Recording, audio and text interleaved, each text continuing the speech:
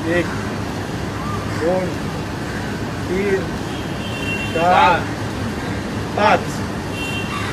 नमस्कार मी सचिन मुळे ह्यालाही शिक्षा द्यायचं कारण तुम्हाला सांगतो. आणखी एक व्हॉट्सअप दाखवतो. मला शनिवारी एक व्हॉट्सअप आला होता. आमचा महाराष्ट्र सैनिक आहे वैभव चिपळूणकर त्याचा. हा तो व्हॉट्सअप आहे.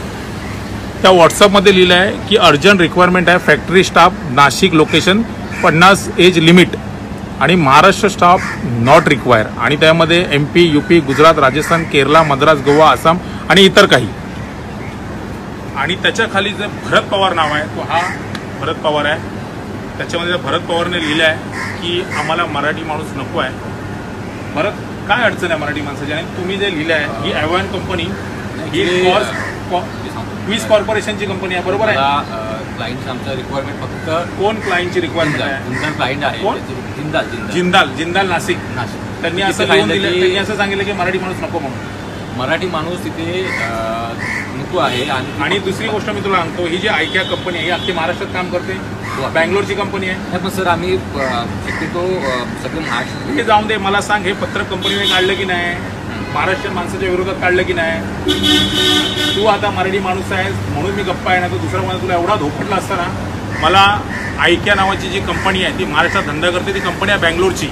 तिथे येते महाराष्ट्रामध्ये पैसे कमवते आणि मराठी माणसाला बाजूला सारून हे युपी आसाम बिहारी यांची नावं लिहिली आहे. ह्यांना काम देते. माझं ऐक्याला पण सांगणं आहे आणि जिंदालला पण सांगणं आहे. की जर तुम्ही असा धंदा इथे करत असाल जिंदाल नाशिक जो प्लांट आहे मला तिकडच्या लोकांना पण सांगणं हे बंद करा की मराठी माणूस नको म्हणून. आणि ऐक्याचा महाराष्ट्रात सर्वात जास्त धंदा आहे. ऐक्या कंपनीकडनं मी माफीनामा लिहून घेणार म्हणजे घेणारच आणि भारत ह्याच्यामध्ये तू मराठी माणसाच्या भावना दुखावल्या द्या लक्षात ठेव तू पण मराठी आहे. तुला किती मुलं आहेत? दोन मुली उद्या दोन मुली आहेत किंवा मुलं असतील. मुली पण उद्या कामावर नाही जाणार. त्यांना असं सांगितलं तुम्ही मराठी येऊ नका. चालेल तुला? तू तू अख्ख्या मराठी माणसांची आणि अख्ख्या महाराष्ट्राची माफी मागितली पाहिजे. उद्या महाराष्ट्राची जाहीरपणे आणि याच्यापुढे असं माझ्याकडून कधी असं होणार नाही. मी मराठी लोकांना पहिलं प्राधान्य मग देणार हे असं का झालं तू कंपनीला का सांगितलं नाही? आणि कंपनी उद्या तुला सांगेल काही कर तू करशील काय. तू पण एक मराठी लक्षात ठेवा.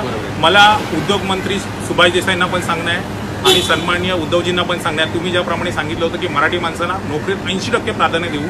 आता तुम्ही मला सांगा तुम्ही जो हे काढलं होतं जी आर काढला होता त्या जी आरला हरताळ नाही फासला या कंपनीने? जिंदाल कंपनीने? त्या जिंदाल कंपनी सरळ त्यात लिहिल्या मी व्हॉट्सअपमध्ये ते दाखवले तुम्हाला. व्हिडिओमध्ये की सरळ सांगितलं की मराठी माणूस नको आहे म्हणून. आणि असं जर होत असेल आणि मग तुम्ही कुठं भूमिपुत्रांना नोकऱ्या देणार? या आसाम युपी लोकांच्या इथे भरत्या चालू आहेत. मला एकच म्हणणं आहे की तुम्ही ह्यामध्ये तातडीनं लक्ष घाला कारण का मराठी माणूस स्वतःच्या नोकरीपासून दुरावला जातो आहे आणि असे ज्या जिंदालसारख्या कंपन्या आहेत आणि ह्यांची जी कंपनी आहे ऐकायची बँगलोरवरून इथे येऊन कॉन्ट्रॅक्ट घेते. अशा कंपन्या ह्या महा महाराष्ट्रामध्ये सुलसुलाट करायला सुरुवात करतील. आत्ताच तुम्ही ॲक्शन घ्या.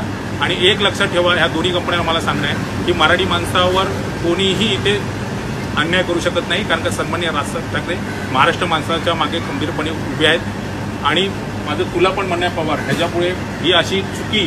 तुझ्याकडनं पण झाली नाही पाहिजे कारण का तू पण मराठी माणूस आहे ठीक आहे. असा मी प्रत्येक महाराष्ट्रातील कंपनीला इशारा देतोय की ह्याच्या पुढे जर मराठी माणसाला तुम्ही अवहेलना करत असाल मराठीचा अपमान करत असाल महाराष्ट्राचा अपमान करत असाल तर तुम्हाला धोपटल्याशिवाय राहणार नाही. हा मराठी माणूस आहे म्हणून मी ह्याला आज सोडला. पण तुला पण वॉर्निंग देतो ही दुसरी चुकी झाली तर जिथे असेल तिकडे तुला नाही. जय हिंद जय महाराष्ट्र.